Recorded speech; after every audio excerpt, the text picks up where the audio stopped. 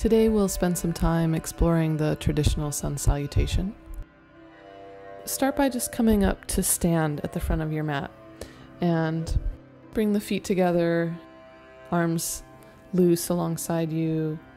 Close the eyes and just take a few minutes there to tune in to the breath.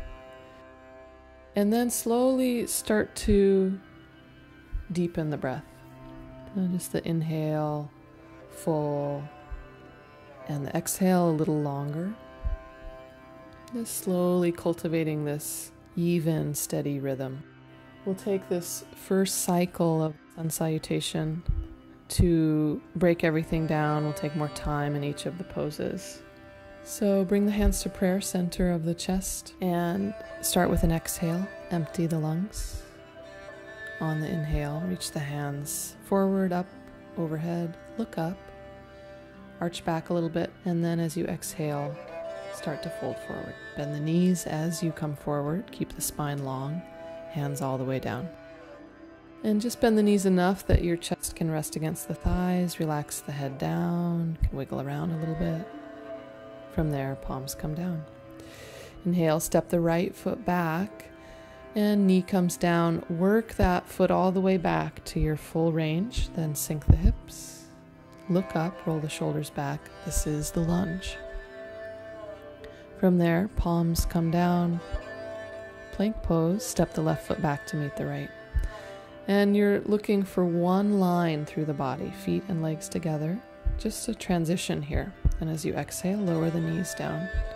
And slowly, with control, Chest comes down like a push up.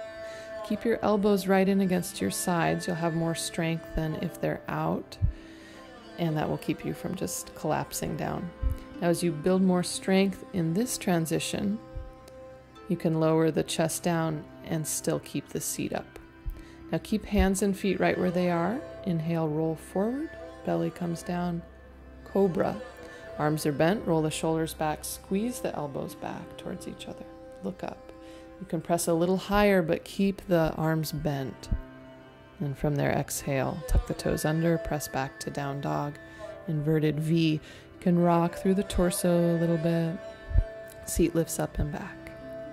On the inhale, step the right foot front. Now, this is one of the more challenging transitions, so if you need to, drop the knees down first. And just work that right foot front any way that works for you. You can experiment here. You might find it easier to kind of swing that right leg around the side, just bringing it all the way up in between the hands. From there, back knee down, sink the hips, look up again, roll the shoulders back, lunge. Exhale, left foot comes front. Uttanasana, this is the forward fold. Bend the legs again. Now, this first time we'll come up with hands to waist. So, inhale, lift up to stand, then arms come up. So, do that to keep the spine long. Try it once more. This time, inhale, extend the arms straight ahead, and just noticing that's harder or the same, then exhale, prayer position. So take a moment here, just pause, and again, check in with the breath. See how the heart rate is moving. So you can always take this pause in between rounds and just find that center point again where you feel settled before you move into the next round. Now, in the next round, we're going to move with more speed, and you'll see that instead of them being these separate poses, it's really a fluid movement through the whole thing, this unbroken movement, just riding on the breath. So it's like the shape just forms in and around the breath, in and around the inhale and exhale. Hands to prayer if they're not already there. Feet together. Exhale. And then as you inhale, reach up overhead. Look up. And exhale, fold, bend the knees. Hands come all the way down. Relax the head. Inhale, left foot steps back to the other side. Knee down, look up. And plank, right foot back, feet together. Exhale, knees, chest, chin down. Keep your seat up, elbows in against your sides. Inhale, cobra, arms bent, roll the shoulders back, look up. Tuck the toes, exhale, press back to down dog. Inhale, left foot comes front. Up between the hands, sink the hips, look up. Exhale, right foot comes front. Bend the legs. Inhale, follow the breath up. Reach up, arch back a little bit. And then exhale, prayer. Inhale, reach up overhead. Exhale, fold. This time, you have more range, you can try legs straight. Inhale, right foot steps back, back knee down, and plank, left foot back. Exhale, knees, chest, chin. Inhale, cobra. Exhale, down dog. Inhale, right foot steps front, back knee down, look up. Exhale, left foot front. Deep inhale, look up overhead. Exhale to prayer. So just watch this last round so you can kind of notice everything is fluid and that there's not more importance placed in the pose versus the transition, that it's all the same even movement.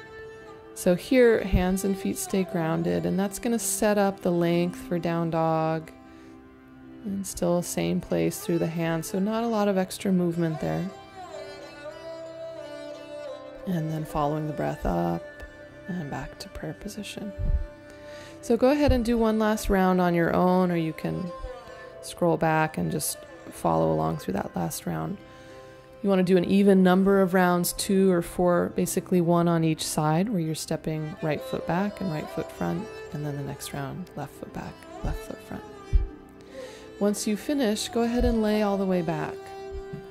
And we'll finish with a brief relaxation. So, this is part of the asana practice is that you give some space at the end of the practice to really let the benefits of the poses integrate into your system and the gauge here for how long you want to spend in this position is just how long it takes for your heart rate to return to its resting rate. That might be one minute, it might be five minutes. And as you're laying back, you can scan through the system and just release any tension or fatigue that you find.